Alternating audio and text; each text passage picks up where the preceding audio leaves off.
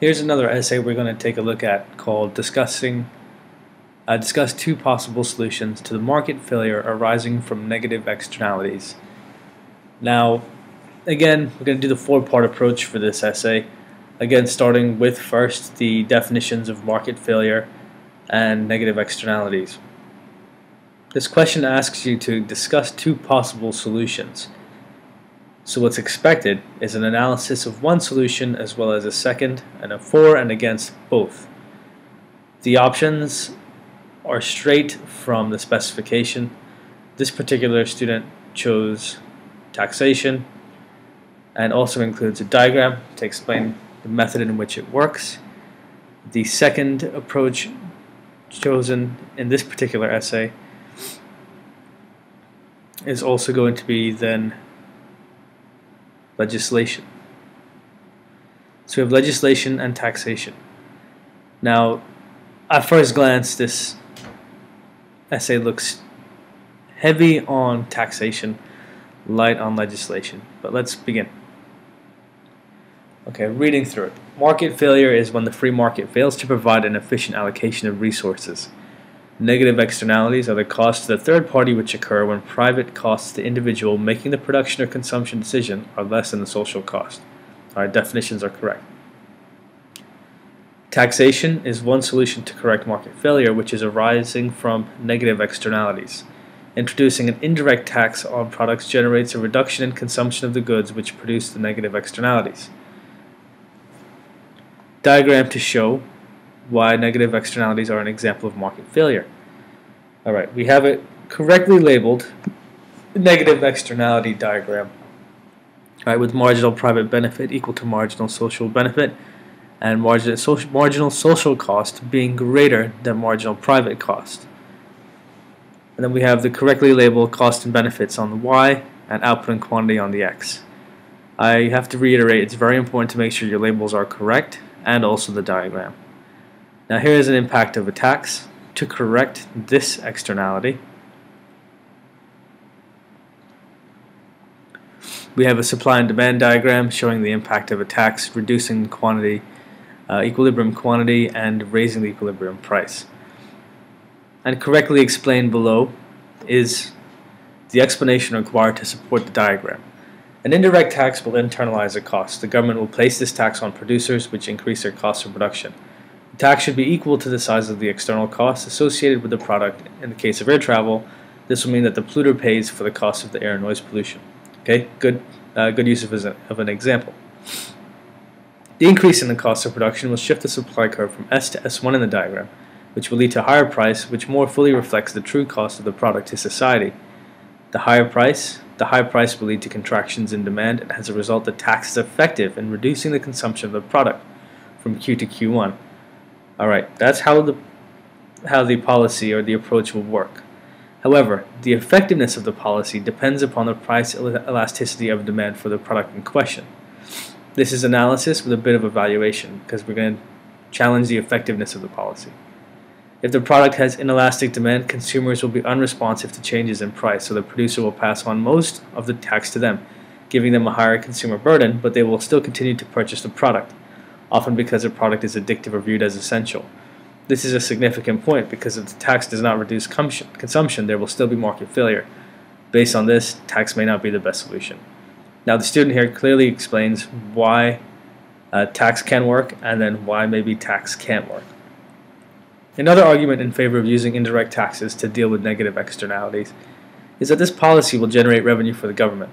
This revenue will be particularly high if the tax is placed on inelastic products. Generating revenue is crucial for the government in the current economic climate as they have a large deficit. Therefore, this is a significant point. In addition, the revenue generated could be used to fund other schemes to reduce consumption of the product, such as education, which would solve the problem rather than just trying to change people's incentives through the price mechanism. Money could also be used to try and minimize the costs on third parties, for example, paying for noise insulation for houses near airports. These points make a very strong argument that tax may be the best policy. Wonderful explanation, thoroughly analyzed, looking at both sides of it. And even taking it further.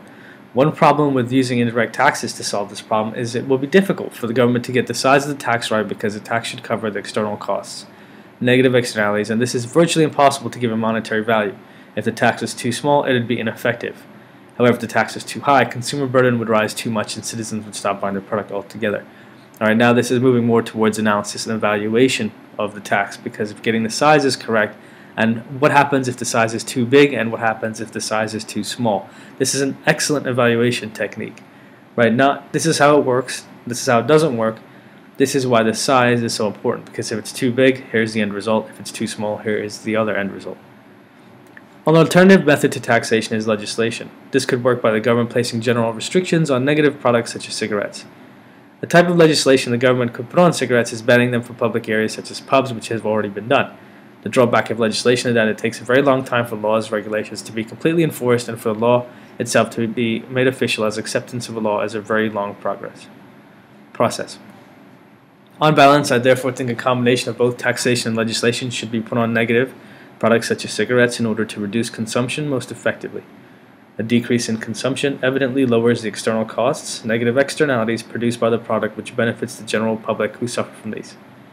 Taxation would mean that consumers pay, hopefully making the negative product more elastic, so consumers will be more responsive to a change in price. However, if tax is not as, def- as defective as initially planned, if people kept buying cigarettes because they're so addictive, then legislation will be effective. Based on this, tax alone may not be the best incentive when combined with legislation. It is likely to be highly successful. Now, for me reading this immediately, you're probably thinking a lot of this is about taxation, not enough about legislation. It is way too short and limited, and that's going to cost the person writing the essay.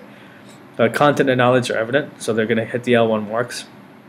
Two methods are introduced and defined. L2 discussion is in the context of negative externalities and how legislation and indirect taxation can help reduce the resulting market failure.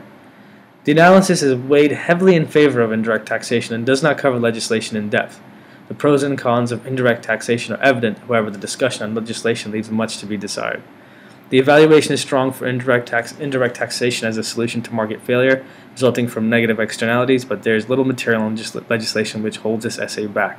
Now, after I read through this, I know the student knows their economics inside and out, understands externalities, but the biggest problem here is they did not elaborate on the pros and cons of legislation. This reads mostly about as an essay on indirect taxation. You know, we've got at least three or four different paragraphs on this topic. Unfortunately, the student did not discuss legislation in enough depth. Uh, depth. So that's why this particularly uh, this particular essay was awarded 11 out of 18 marks. Um, to improve it, needs to have further evaluation and really needs to establish the uh, the legislation aspect of it because what's going to happen is that on the mark scheme you're going to see a you know there will be a limitation based on how many marks you can earn if you haven't discussed one option in depth. And this is a, a unique kind of question. Uh, normally, the 18 marker is going to ask you about one solution and examining for and against and evaluating it. This is interesting to see that it's examining two possible solutions. So this is a new type of question. But ultimately still falls within the same general organization and pattern as all previous 18 mark essays.